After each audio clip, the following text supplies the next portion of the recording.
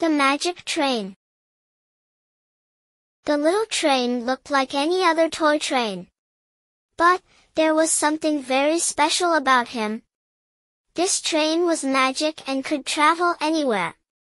Every night it was the magic train's job to gather up the forgotten toys that were left by little girls and boys. He would load the toys up and bring them to the children.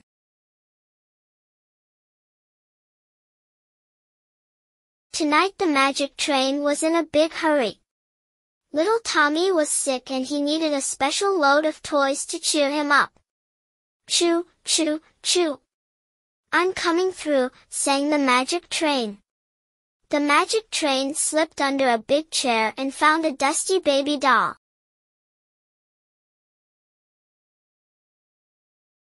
The magic train chugged into the hall closet and picked up a lonely lion that had been lost for many days.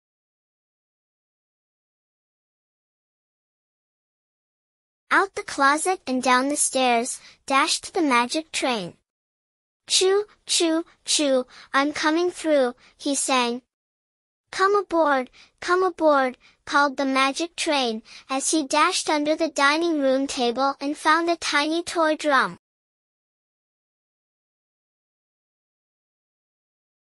Then the magic train darted through the little trap door, the dog used to go in and out.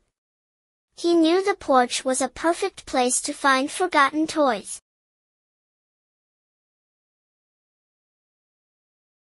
Behind the rocking chair was a big trailer truck that hadn't moved its wheels in weeks. Hop aboard, hop aboard, called the magic train. We've got important work to do. Sugar, Chugga, chugga, toot, toot.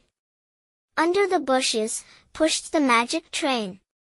He knew the garden was a good place to find lost toys. Look at this, look at this, said the magic train. Three little ponies in a row, come aboard. Let's go.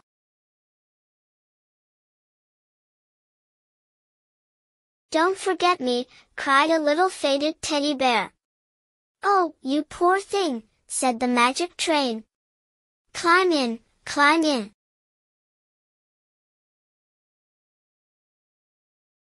Quickly, said the little bear.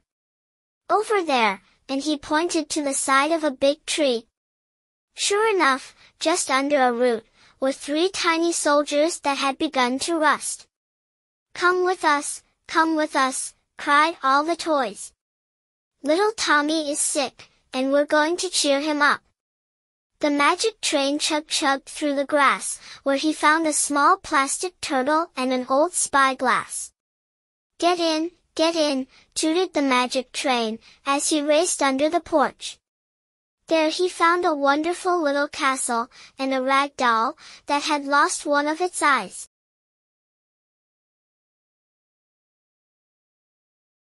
Hurry, hurry, it's getting late, said the magic train, as he sped along the garden path to the front of the house. Look, cried the soldiers. A storybook. They jumped down from the train and lifted it aboard. Time to go, time to go, said the magic train, as he traveled up the porch stairs and back into the house. All the toys were happy to be together again. They screamed and giggled all the way to Tommy's room.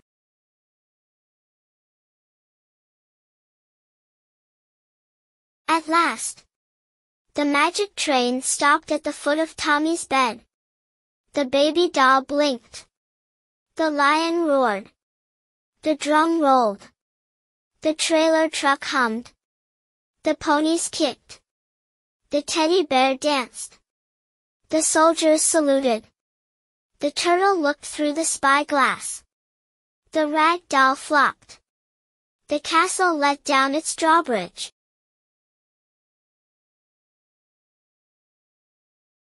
Tommy!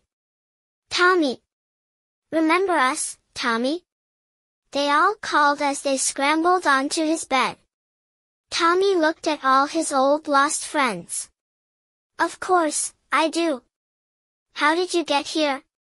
The magic train brought us, they shouted together.